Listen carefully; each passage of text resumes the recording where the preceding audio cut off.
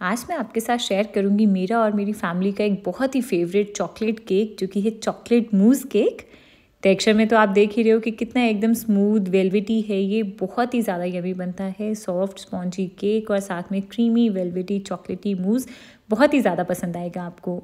और इस मूज में हम कोई अगर अगर कोई जेलेटिन भी यूज़ नहीं करेंगे, बहुत ही आसान और सिंपल सी रेसिपी है। तो चलिए फटाफट से इसे शुरू कर लेंगे। तो सबसे पहले हम अपना चॉकलेट केक बनाएँगे। और इसके लिए ना मैं आज बिस्किट्स के साथ केक बना रही हूँ, जिसके लिए मैंने 120 ग्राम ओरियो बिस्किट्स लिए हैं। आप इसकी जगह अपना मनपसंद कोई भी और चॉकलेट बिस्किट ले सकते हो। तो इन बिस्किट्स को अब हम एक ग्राइंडर जार में डालेंगे और इसे ग्राइंड करके इसका पाउडर बना लेंगे। अच्छा मैं ना इसमें एक बड़ा चम्मच चीनी भी ऐड कर रही हूँ, ये मैं पहले डालना भूल गई थी। तो बस इन दोनों को अच्छे से पीस लेना है। तो बिस्किट का पाउडर तैयार हो गया है। इसे मैं एक बोल में निकाल रही हूँ। आ इसके बाद सबसे पहले हम अपने होममेड अवन यानी कि कढ़ाई को गर्म होने के लिए रख देंगे। तो इसके लिए ना कोई भी मोटे तले की कढ़ाई लेके इसमें आपको नमक डालना है। ये नॉर्मल खाने वाला नमक है। फिर इसमें एक स्टैंड या किसी प्लेट को उल्टा करके रख देंगे और इसे ऊपर से ढक के मीडियम फ्लेम के ऊपर दस मिनट तक गर्म होने देना है। इसी तरह से अवन को आपको वन डिग्री पर दस मिनट तक प्री हीट करना है। और मोल्ड को भी तैयार कर लेंगे। तो इस केक के लिए ना मैंने यहाँ पे ये छः इंच का एक लूज़ बॉटम मोल्ड लिया है, जिसकी जो प्लेट है नीचे की वो अलग हो जाएगी, ताकि बाद में इस मूज केक को डीमोल्ड करना ईजी हो। बट हाँ अगर आपके पास ऐसा मोल्ड नहीं है, तब उस केस में आप ये वाला केक कैसे बनाओगे, उसकी सारी डिस्क्रिप्शन जो है वो नीचे डिस्क्रिप्शन बॉक्स में दी गई है, आप प्लीज़ उसे वहाँ से चेक कर लीजिएगा। तो इस मोल्ड को पहले ऑयल से ग्रीस किया मैंने और फिर मैं इसमें बटर पेपर लगा रही हूँ। आप चाहो तो नॉर्मल आटा या फिर मैदे से भी मोल्ड को डस्ट कर सकते हो। तो मोल्ड तैयार हो गया है और इसके बाद अब ये जो बिस्किट का पाउडर हमने बनाया था ना, इसमें हम डालेंगे एक तिहाई कप दूध और इसे थोड़ा थोड़ा करके इसमें ऐड करना है और अच्छे से मिक्स कर लेना है। तो बस इसी के साथ बैटर तैयार हो गया है और बैटर की जो कंसिस्टेंसी है ना, ये इस तरह से रखनी है हमें।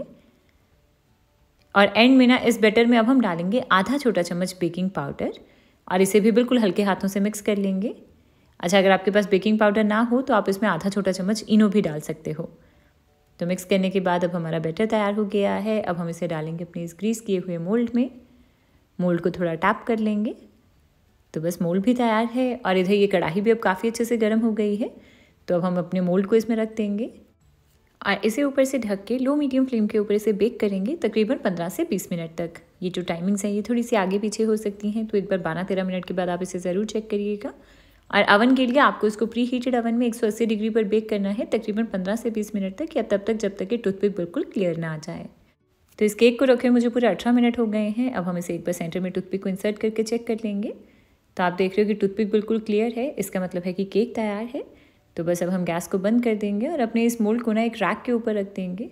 और केक को थोड़ी देर के लिए ढक के एक साइड पर रखेंगे, ताकि ये पूरा अच्छे से ठंडा हो जाए।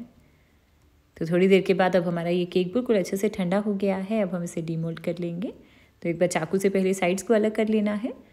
और इसके बाद चाहो तो नॉर्मल मोल्ड यूज़ किया है तो उल्टा करोगे केक को तो ये तब भी आसानी से बाहर आ जाएगा, नहीं तो प्लेट के थ्रू भी निकाल सकते हो आप इसे।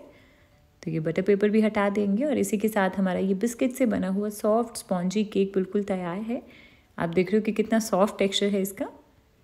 अच्छा इस तरह से चाहो तो बिस्किट वाला केक बना सकते हो, नहीं तो नॉर्मल मैदे से जो केक बनाती हूँ मैं पहले अपनी रेसिपीज़ में, वैसे भी बना सकते हो इसके लिए आप।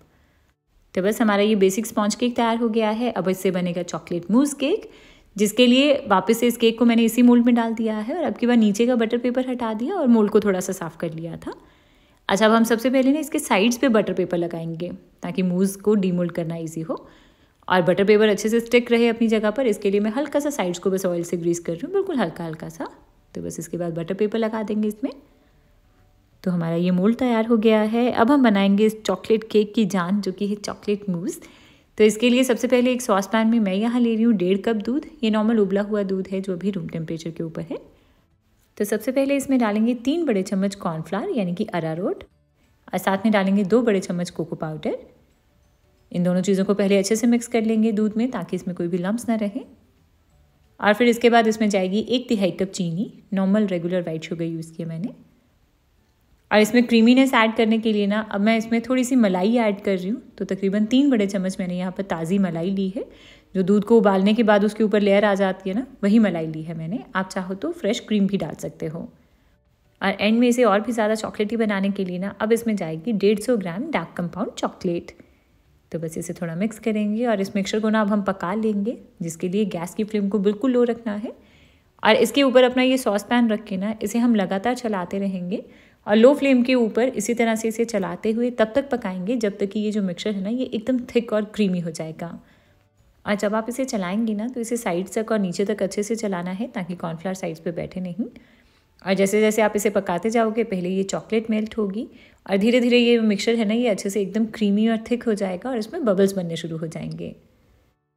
तो तकरीबन सात आठ मिनट तक ही पकाया मैंने इसे और अब आप देख रहे हो कि मूस कितना एकदम थिक और क्रीमी हो गया है और बेलवेटी टेक्सचर है इसका और आप देख रहे हो कि इसमें बबल्स बन रहे हैं। तो हमें इसे इतना पकाना है। एकदम थिक कंसिस्टेंसी है इसकी लिक्विड ही नहीं है बट थिक सी क्रीमी कंसिस्टेंसी है। तो बस इसी के साथ हमारा ये क्रीमी मूस तैयार हो गया है। ये बहुत ही ज़्यादा यमी बनता है। तो इसे ना मैं एक बार थोड़ा सा चला रही हूँ ताकि एकदम क्रीमी टेक्सचर रहे इसमें। इसके बाद अब हमने ये जो केक रखा था मोल्ड में, इसके ऊपर डाल देंगे हम अपना ये गरम मूज़ तो आप देख रहे हो कि कितना एकदम वेलवेटी लावा जैसा टेक्सचर है इसका। बहुत ही ज़्यादा यमी बनता है ये। तो इस तरह से ये सारा मूज़ डाल देंगे, हल्का से इसे इवन कर लेंगे ऊपर से। और पहले मैं इसे पाँच मिनट के लिए इसी तरह से किचन काउंटर पर ही रखा रहने दूँगी, ताकि ये थोड़ा सा ठंडा होकर रूम टेम्परेचर पर आ जाए। और फिर इसे फ्रिज में रख देंगे सेट होने के लिए। कम से कम छः से आठ घंटे रखिएगा। अगर टाइम है तो सारी रात के लिए रखिएगा, ताकि मूज़ अच्छे से सेट हो सके। अच्छा क्योंकि मैंने इस मूज़ में कोई जेलेटिन या कोई अगर अगर ऐड नहीं किया है तो मैं आपको सजेस्ट करूँगी कि आप इसे सारी रात के लिए रखिएगा। मैंने सारी रात के लिए रखा इसे फ्रिज में, ये अच्छे से सेट हो गया है। अब हम इसे डीमोल्ड कर रहे हैं। तो इसके लिए एक ग्लास रखा मैंने इस मोल्ड के नीचे। और धीरे से जब आप प्लेट को पुश करोगे ना तो ये बहुत ही आसानी से बाहर आ जाएगा। आ, इसके बाद इसके साइड का ये बटर पेपर हटा देंगे। तो बस इसी के साथ तैयार हो गया है हमारा ये चॉकलेट मूज़ केक एंड में इसकी गार्निशिंग करेंगे, जिसके लिए थोड़ी सी ग्रेट की हुई चॉकलेट डाल रही हूँ मैं इसमें। गार्निशिंग आप अपनी मनपसंद किसी भी तरह से कर सकते हो। तो है ना, बहुत ही ज़्यादा आसान। ये खाने में इतना स्मूथ वेलविटी और एकदम मुँह में घुल जाने वाला बनेगा ना, आपको बहुत ही ज़्यादा पसंद आएगा। अच्छा इस केक को स्लाइसिस में कट करने के लिए ना, आप अपने नाइफ़ को हल्का सा गर्म कर लीजिएगा, चाहे गैस पर या फिर गर्म पानी में हल्का सा डिप करके। इससे एकदम अच्छे से शार्प एजेस कटेंगे इसके। तो इसके अंदर का टेक्सचर देख रहे हो आप कितना यमी लग रहा है। ये नीचे सॉफ्ट और स्पॉन्जी केक है और ऊपर से ये चॉकलेटी, वेलवेटी, मूज़ बहुत ही ज़्यादा यमी बनता है ये। तो आप भी ट्राई करिए इस रेसिपी को और अगर आपको चॉकलेट पसंद है ना तो मेरी गारंटी है कि आपको ये बहुत ही ज़्यादा पसंद आएगी। तो फटाफट से ट्राई करो, मेरे साथ फीडबैक शेयर करिएगा, पिक्चर शेयर कर सकते हैं इन सारी रेसिपीज़ के आप मेरे इंस्टाग्राम पर और अगर रेसिपी पसंद आई हो तो प्लीज़ वीडियो को लाइक करिएगा और मेरे चैनल को सब्सक्राइब करना ना भूलें।